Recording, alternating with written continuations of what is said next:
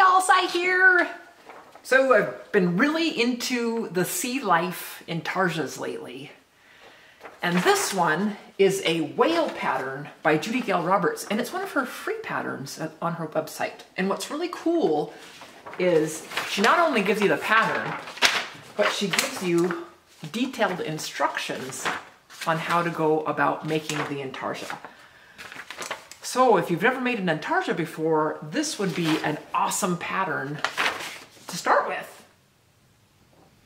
I'm gonna make this one because I've made the dolphins and then I made a whale a while ago and I just ordered the humpback whale from Judy Gale Roberts. Looking forward to making that one soon. And I made some miniature orange dolphins also. So I'm just loving the sea life stuff. So the whale, I'm excited to get going. So I used blue pine before and holly. And so I have remnants of the blue pine and then I have remnants of the holly, but there's a part on the whale where it has some um, either Wonder Wheel markings or wood burn markings or sanding markings that you want to do for that part of the whale. I thought it'd be really cool to use some spalted maple there. It has the lines in it and stuff. So, yeah. So I'm gonna get my sticker machine out, my creative station, and make these into stickers real quick like so I can put them on the wood. I cut out all the pieces and arranged them onto a piece of paper. This is just to save on sticker machine sticker making material. And I wanted to see how many pieces I could fit on one sheet of paper. Okay, I need to do a light coat of 3M77 over the fronts of these, which is nearly impossible, but I think it can be done. Maybe, maybe.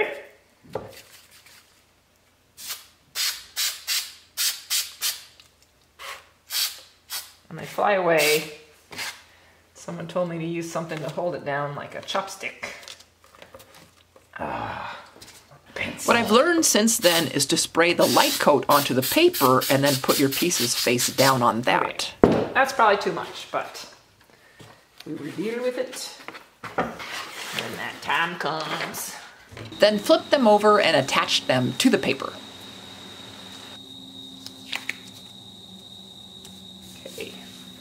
All right, I make sure that the patterns are down like that because we want them to go face up, which is, you know, they're upside down on here, so face up is this way. And we just stick it in the machine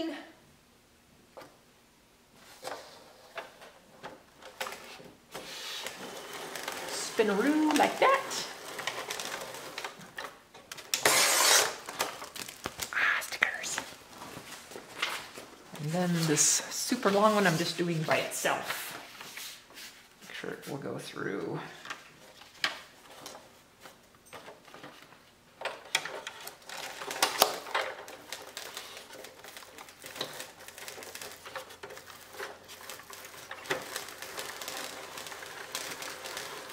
a little bit of sticker material. I be able to fit this in there, right in there with it. There. All the way to the tip. Stickers. Alrighty, let's put those stickers on the woods. So we take off this top plastic layer gently.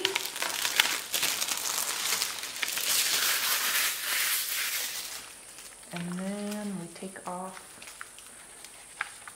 this layer. Like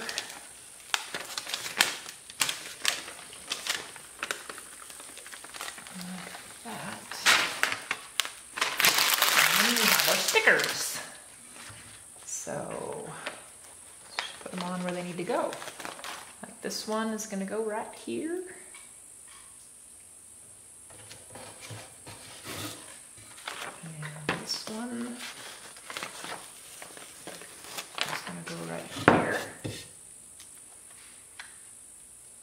Now the fronts of these are a bit sticky from when I sprayed them to put them on the paper. See, it just stuck to my elbow. so these are a bit sticky from when I attached them to the paper. But what I found is you can rub that stickiness right off. And these pieces won't have it because I didn't have to put any sticky stuff on because I made them their own stickers.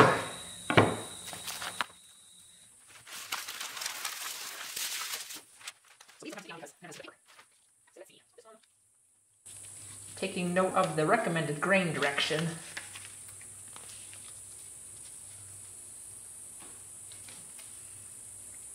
It'll be pretty close.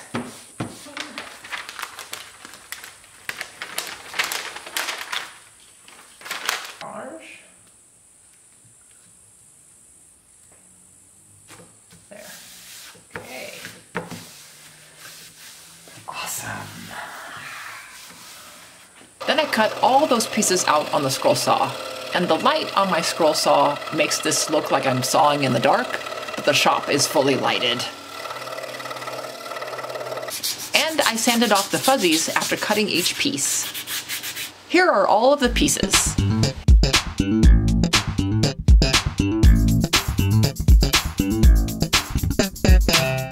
And here they are with all the papers taken off. I made a sanding shim by tracing the whale on a piece of hardboard and then cut that out on the scroll saw. Not sure why the lighting is different, but I like this better. Hmm, weird.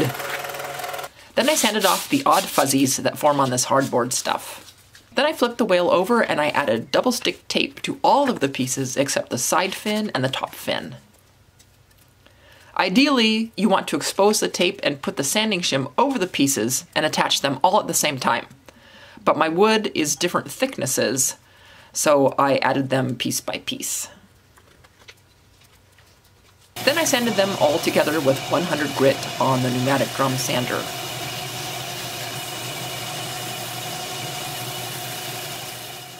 And when I had it shaped to where I wanted them, it took some pieces off the shim and sanded them individually. I referred to Judy's guide as I went and used a pencil mark where I wanted to sand and where pieces were lining up against each other. And when I had things where I liked them, I took it to the flex drum with 220 grit and went over everything.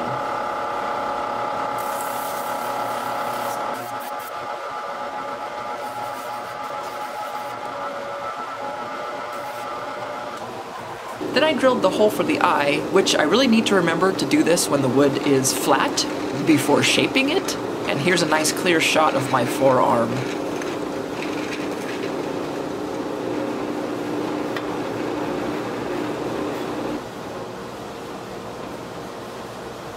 Then I hand sanded and softened the edge of each piece.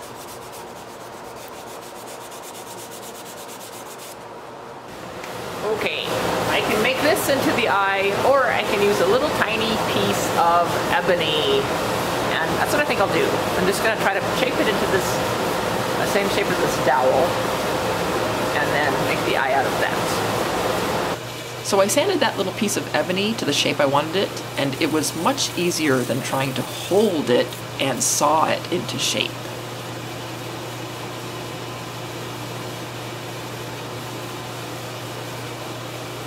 I have this on my grinder. I have one side is the flex shaft, one side is the Wonder Wheel, and that is something that Judy Gale Roberts developed so that you can texture your intarsias. And it also burnishes wood. Burnish the eyeball.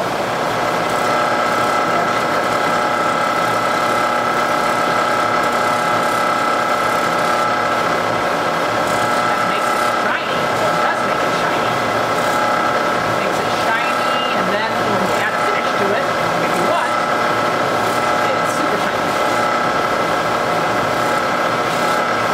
See how that burnishes that? Isn't that just amazing? I love it. Right? See how that works.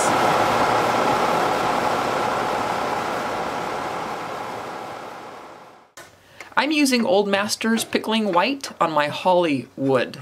This stuff is wiped on and wiped off, and in about 30 minutes, your white wood is super white, and it stays that way. I applied this to the back belly and the mandible of the whale. And it only takes one coat. I used a paper towel to wipe it off until it's dry and let it set up for about six hours. There's a visitor here this morning. Neat. I love its color. So, that white really got white. Cool. And now we're going to put on the clear satin. Yeah. Now I'll just put right there. Maybe a little more. Next I used the Old Masters Poly Gel. I used a rag and wiped it on, rubbing it into each piece, including the white pieces,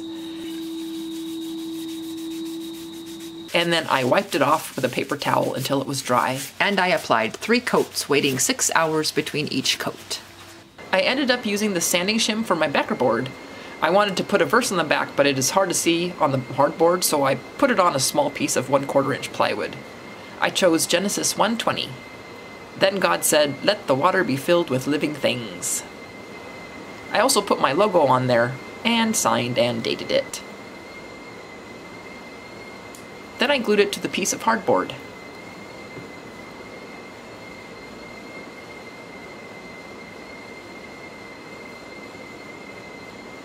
Time to glue!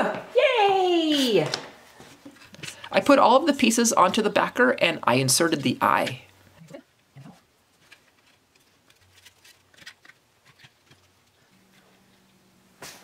But I only glued one piece and let that set up for about 20 minutes.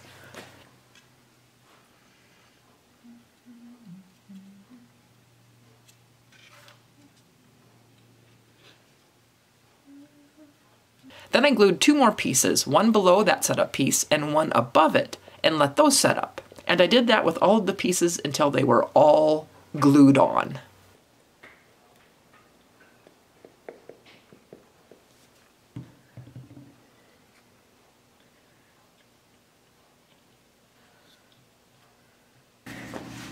Hey, the compressor is on. Can you hear it?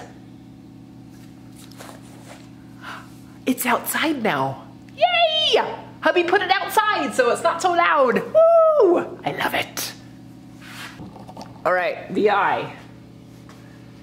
I'm going to try something different and put a little dot of paint on the eye. I used enamel paint and I really liked how it looked, but it didn't last long. So that white paint didn't work. It melted away when I put on the crystal clear. So now the crystal clear is dry and I'm gonna try some acrylic white paint. Just put a little dab right up there to be that catch light, like this. There, okay. Woo! There, now we'll let that dry. Awesome. Then I held it up to see where the hanger should go and marked where it allowed it to hang how I liked it. Then I added a sawtoothed hanger. I drilled some tiny pilot holes, then drove in two tiny screws to hold it in.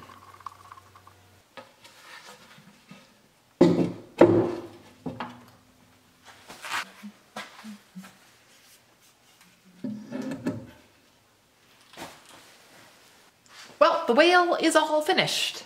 And the white pickling. Wow, did that make that white or what? So cool. And I put the little acrylic paint on that eye and I think I like, you know, making the hole and doing the actual dowel with like holly or aspen or something better. Um, I need to think about it before I start cutting the eyeball out because I think it'd be easier to put the hole in the piece of wood before I cut the, the little circle. Anywho, the spalted maple, I love it. It looks so cool right there for the, the whatever that is on the whale. Yeah, I'm not a fan of these, uh, the white that showed through on the blue pine, um, but it, I think it works. I don't know. The blue pine I have like one side looks like that and then the other side see the, the white in there or the, the lighter color, which I really like, but I was hoping you can see how deep it is there. So on my piece of wood, that was underneath and when I sanded down, then it exposed it. So it kind of looks cool on the fin tail right there. But anyway, I wasn't hoping for that to happen, but it did. Anyway, this is a free pattern by Judy Gale Roberts. It's on her website and she has a little booklet on step-by-step -step process of how to do this. So if you've never done Intarsia before, I recommend trying this. It's She's got it all right there, teaching you everything. And I'll leave a link in the description box below so you can get to that pretty easily. I'm really enjoying these sea life intarsias and I have a bunch more that I want to do. I might do something different in between the next sea life. Uh, yeah, so... So thanks for joining me everybody and we'll see you next time. Bye!